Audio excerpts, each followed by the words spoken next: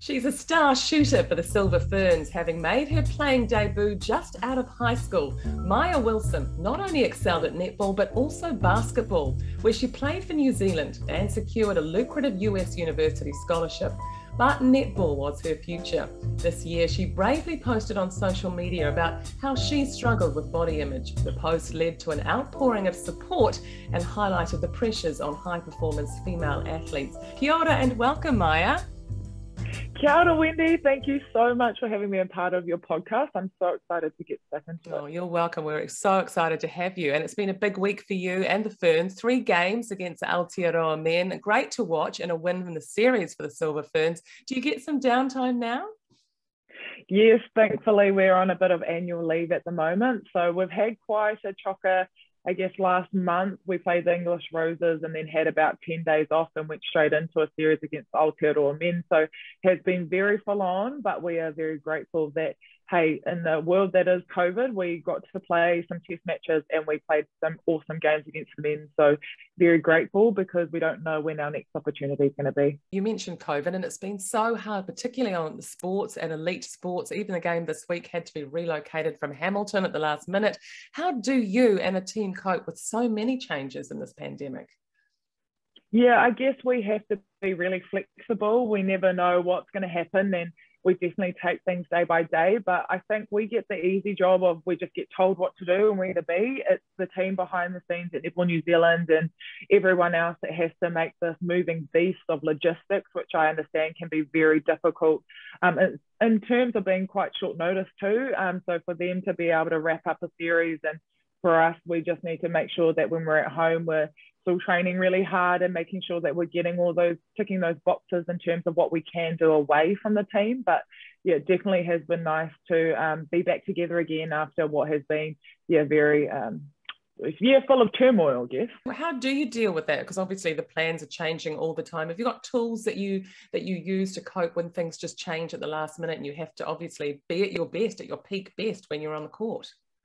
Yeah, definitely. I think one of the main things that I focus on is what can I actually control? I can't control the weather, I can't control COVID, um, but what I can control is how I prepare. So a lot of it for me is the physical side of making sure that I'm able to, yeah, get out there and do all the trainings and maintain fitness and as such, and also making sure that we're keeping in touch. We as a firm were had daily Zoom meetings about different stuff that we can still try and keep connected while um, not having the ideal prep uh, but making sure that I'm yeah ticking those boxes, checking in with our mental skills, um, with our psychologists, with nutritionists, all those things that are like little one percenters as an athlete that you want to make sure um, you can put your best foot, foot forward.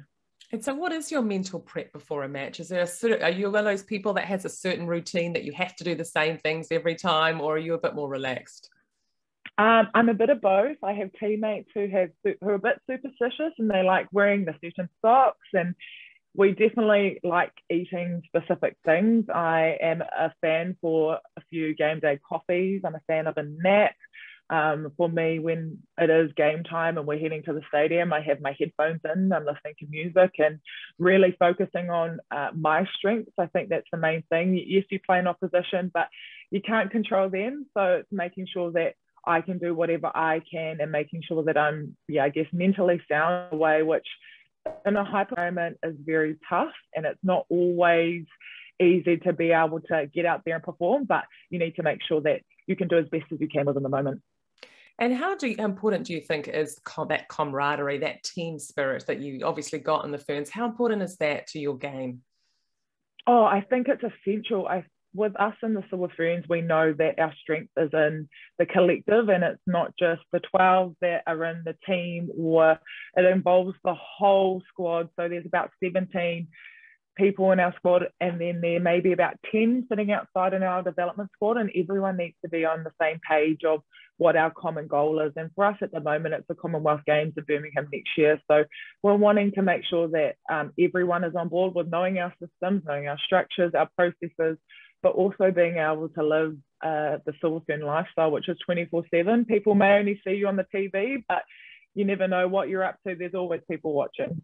That's right. Well, let's go back to when uh, you know you were the youngest player to ever trial for the Ferns in 2016. Looking back, what was that like for you? I mean, obviously, you also faced a lot of resilience in your life. You lost your father and your grandmother when you were around that age, weren't you? So it must have been a really yeah. difficult time. Yeah, it was a very big turning point in my life. I had just left school and I had been in the Silver Ferns environment I think the first time I was about maybe 16 and Waimarama Taumaunu was the coach at that time. And she brought me in as yeah just to have a have a run around. And I remember the first time I was in there was against Casey Kopua and, and Casey Kopua is definitely a legend of the game. So here's 16 year old me freaking out. But I guess I've been quite privileged enough to have that pathway and to have the opportunity as a young person to get in and amongst it. And I guess they saw me as someone for the future. And I guess I sort of feel old at the moment, and I'm not even old, but I've been around for a wee while. So I guess that's where the maturity comes from. But yeah, over the years, I've definitely had to face a few struggles, and losing my dad and my grandmother within six months of each other at 18 was very hard. And I had just left home too. So being born and raised in Auckland and then living on your own in Wellington was a different thing. So not only are you just navigating life and trying to be a young adult and a new job and studying, but also having to deal with that sort of stuff in quite critical times has yeah has been hard, but it's definitely built me up to be a really good person. I mean, you were so young at the time. How did you get through those that those big monumental events happening in your life?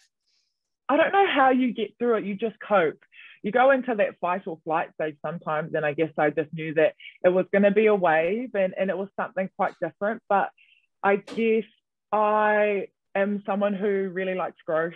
And sometimes the hardest things actually make you into a better person. So uh, definitely a lot of connecting with family. Um, having some downtime and being able to grieve was a really important part for me. Sometimes in in a Māori world and you're in a tangi, you're surrounded by so many people and then they all leave and you sort of feel a bit empty. So it was trying to lean on people. And I think netball was my vehicle to distract me in a way and, and give me something to you really enjoy. It was an outlet. So I'm really grateful for what sport has given me. And when you play, do you play for, for your whānau? Do you play for your dad? I mean, is that, a, is that inspirational for you? Yeah, a hundred percent. I'm so grateful that I get to carry my dad's last name. So it's really important for me when every every time I put on the Silver Ferns dress and I see Wilson on my back, it just gives me that extra bit of pride. As much as I can play with uh, a lot of mana, and it's not just about me. And we talk about in the Ferns, we're just caretakers. We're only there for the present moment. Um, so you want to make the most of it and leave the dress in a better state than when you picked it up. Oh, that's a really nice way of looking at it. I like that. Mm-hmm. And I tell you what, I played netball as a kid. I was in a rep team and I was a shooter as well. And honestly, I had games where I couldn't miss, and then I had games where I just could not get that ball in. How do you deal with that?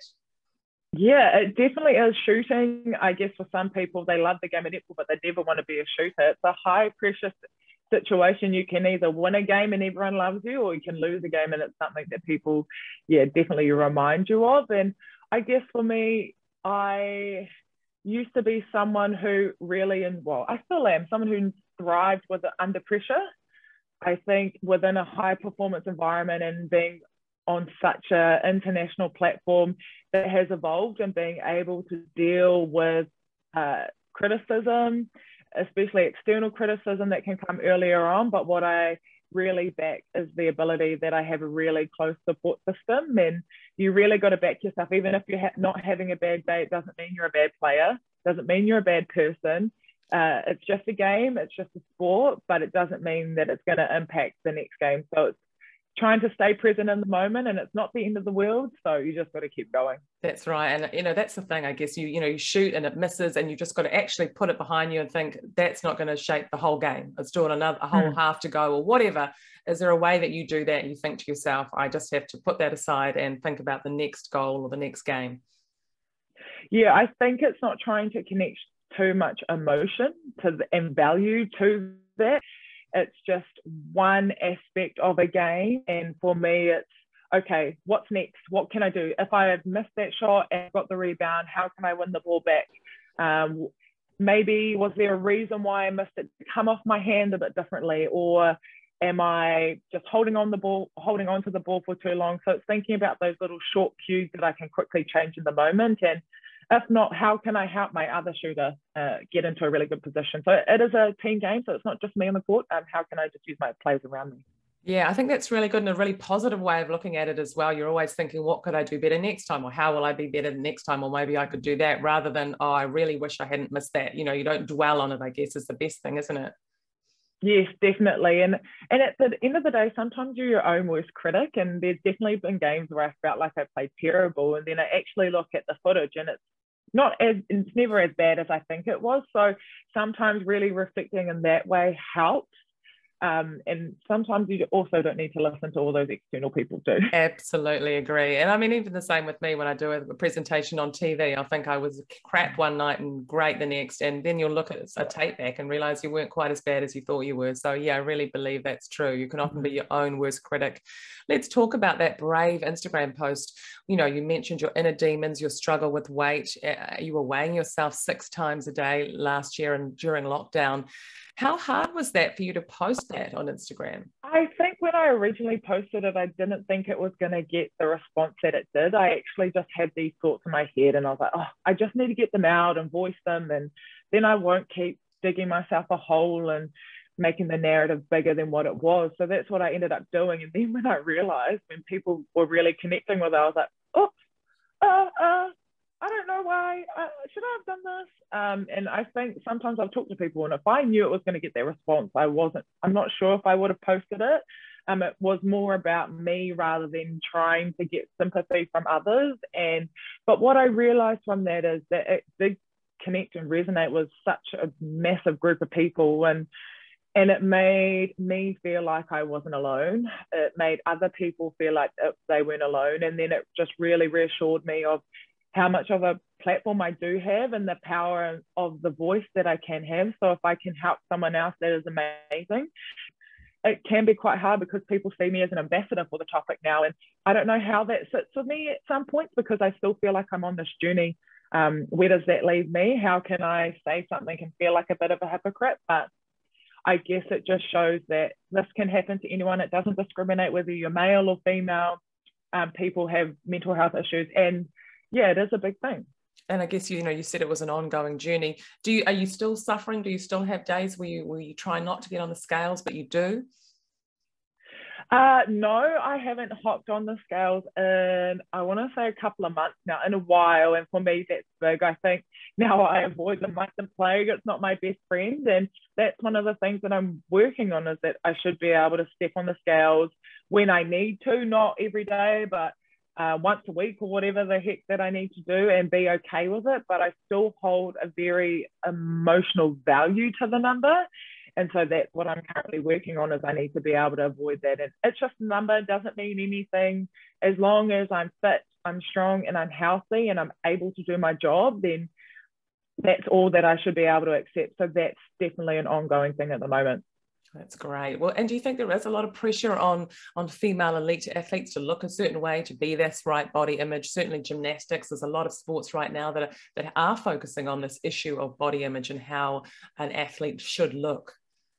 Yeah, I think it has come to the light recently, in particular in the last year, especially within New Zealand. I've seen a few people talk about the topic, and sometimes I don't know, or from my experience, it may not be from the uh, the sporting governing body themselves that put these standards. I think for me, I put these standards on my own self, and being quite a, a strong young Maori woman had a difference to it too. So I did compare myself to uh, my peers and my colleagues who have beautiful, lean, strong bodies, and I just felt like sometimes I didn't fit the aesthetic, and it was something that I tried to fit in with.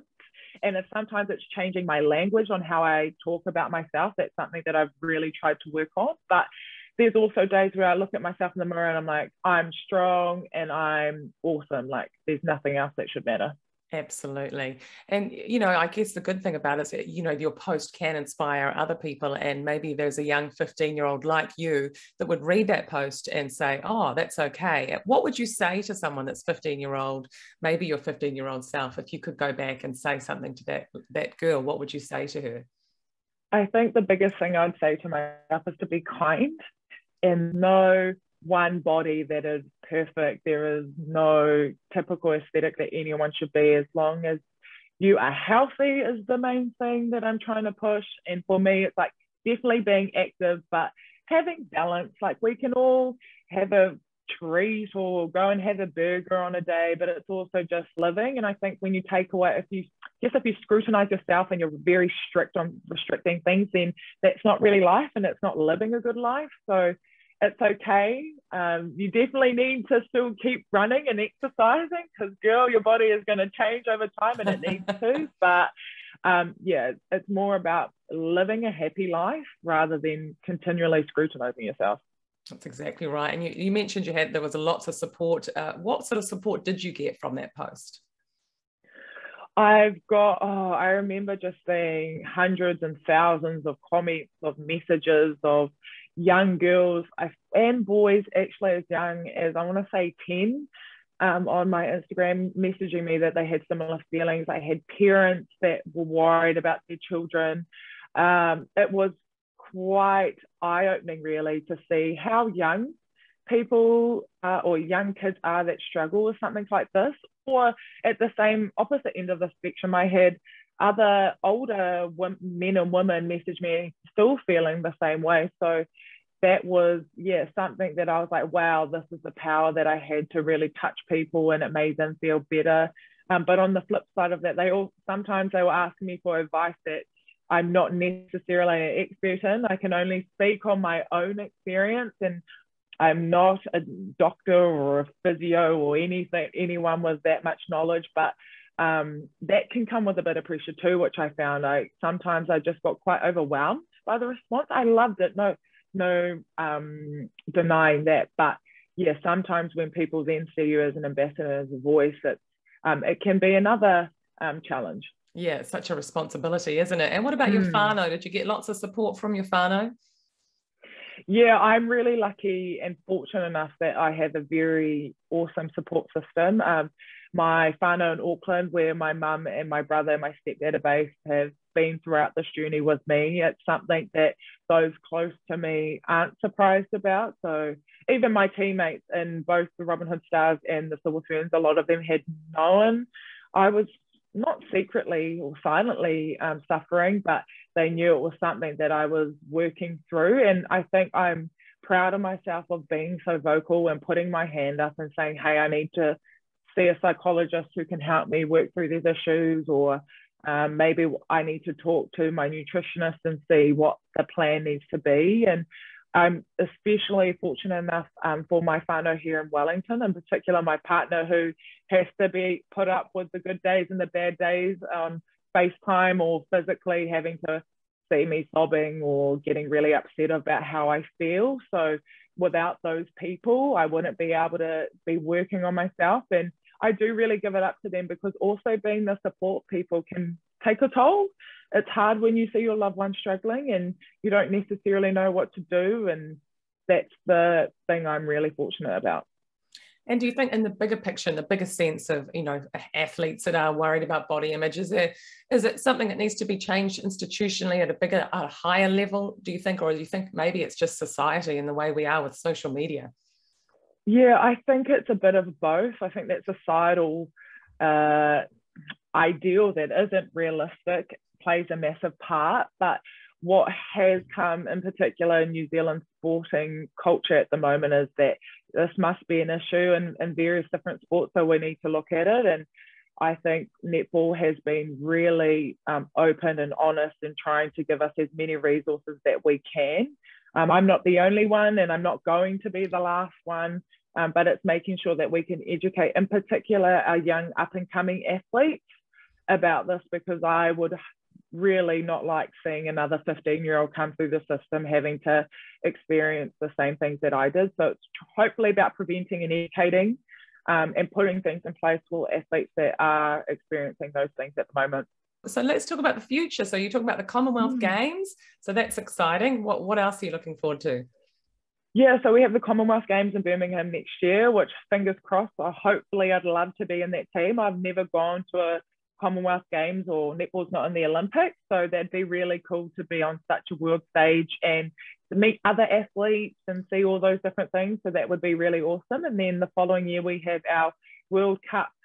I think oh, I'm not quite sure where. Oh, South Africa we're going to. So that would be really nice to be able to back up a, a, being the defending world champions. It's a massive goal for us to be able to back that up and win that again. So, yeah, big things on the horizon, but also I'm in my last two papers of my Bachelor of Communication. So I can't wait to tick that off.